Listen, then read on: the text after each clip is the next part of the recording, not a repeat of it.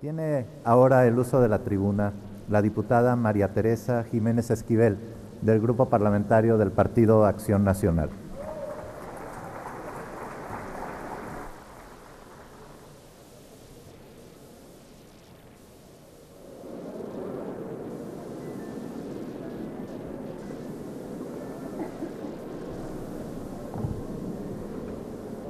Con la venia de la presidencia.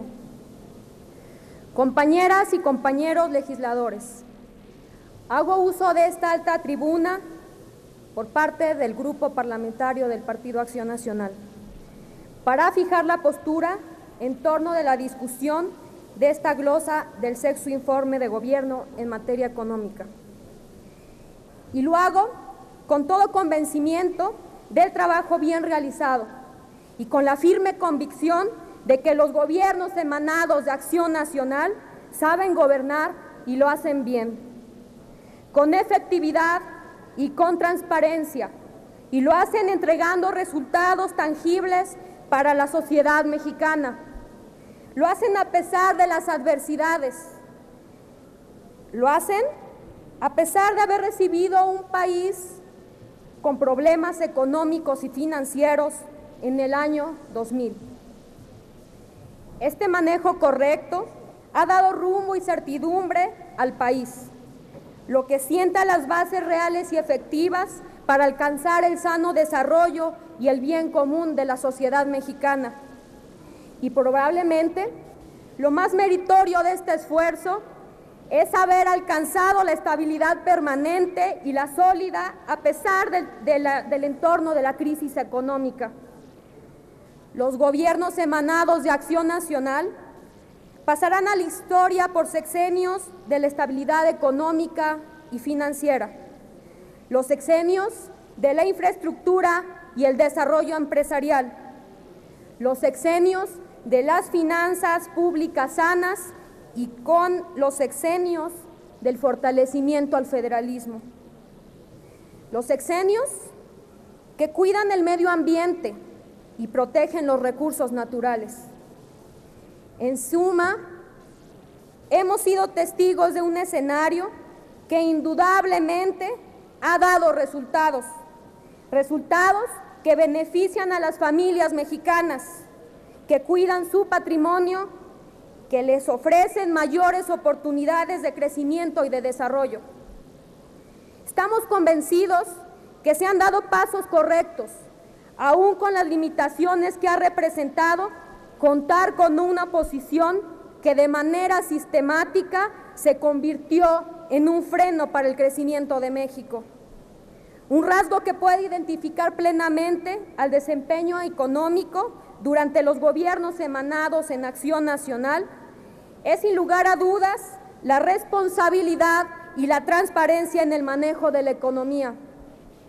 Esto ha posicionado al país con un potencial económico envidiable, con estabilidad y en la senda del crecimiento, situación que ha logrado poseer, pese a haber enfrentado una crisis económica mundial de magnitud significativa en el año 2008 y 2009. Compañeras y compañeros diputados, en el marco de la revisión de esta glosa, podemos afirmar que México se constituye como una economía fuerte y con gran estabilidad.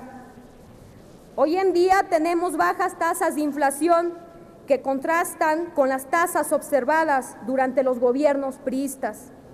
Hoy en día sabemos que mantener una economía equilibrada y estable con responsabilidad es base primordial para impulsar el crecimiento de México.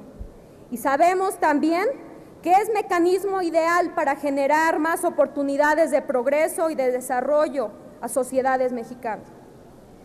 Hoy nuestro país tiene otras condiciones, afortunadamente.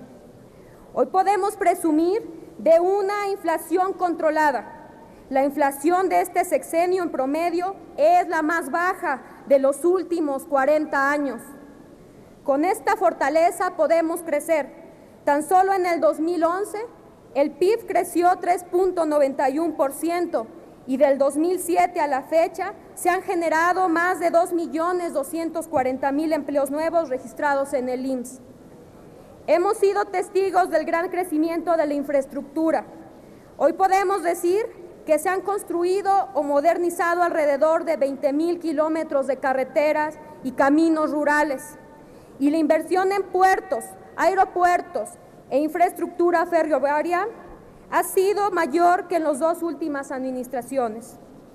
Hoy tenemos un sector energético sólido.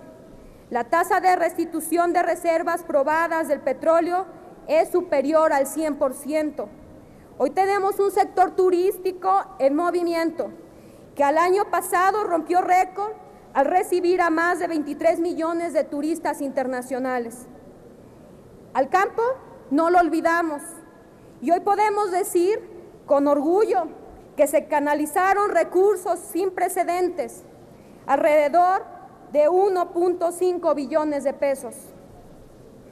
Como ha sido tradición de Acción Nacional, se ha dado un gran impulso al sector empresarial, otorgando créditos a más de 400 mil pymes. Los gobiernos del PAN se han destacado por la conservación del medio ambiente y el fomento de las actividades productivas sustentables. Para Acción Nacional, la sustentabilidad es una prioridad. En este tenor, se han desarrollado programas como Procampo, que constituyen activamente a la conservación de los recursos forestales a través de acciones como el pago de servicios ambientales a la población que posee predios forestales y el impulso a la reforestación. En Acción Nacional estamos comprometidos con la conservación de nuestros recursos. Por eso, no permitiremos el regreso a políticas que incentivan la deforestación y los cambios de uso de suelo, sin considerar la vocación natural del territorio.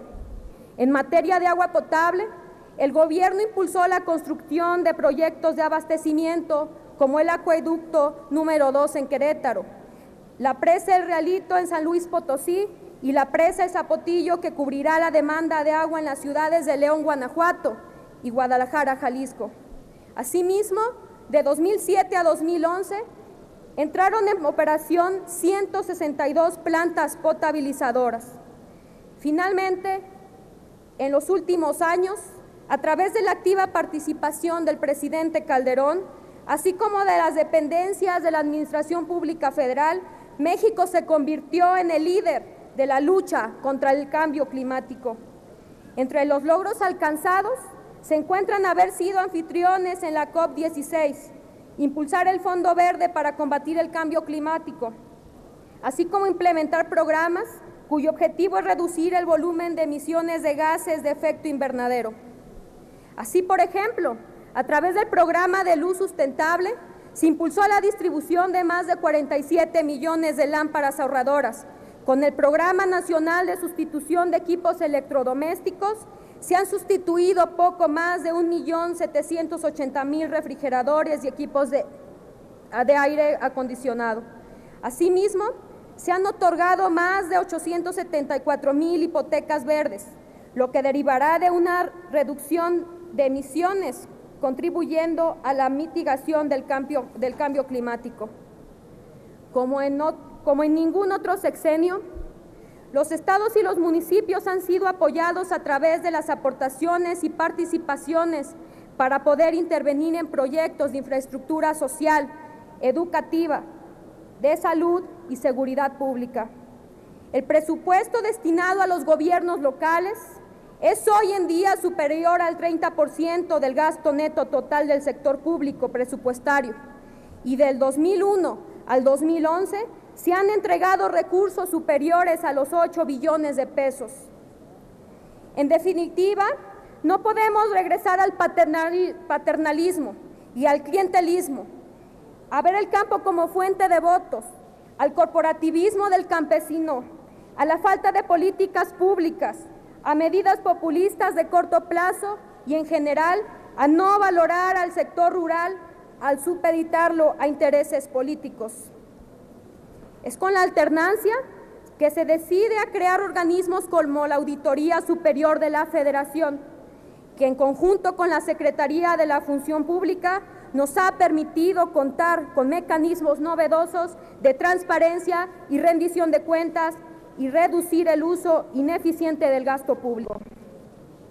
Hoy, este Congreso cuenta con facultades en materia de transparencia que hace 12 años eran imposibles de imaginar. Por lo que Acción Nacional, desde esta tribuna, estará muy atento a que cada reforma o acción de, de gobierno que pueda poner en riesgo este logro económico sea de total conocimiento a cada mexicano y juntos evaluaremos y juzgaremos al actuar político del gobierno entrante a partir de su, de su primer día de ejercicio. Gracias. Muchas gracias, diputada Jiménez Esquivel.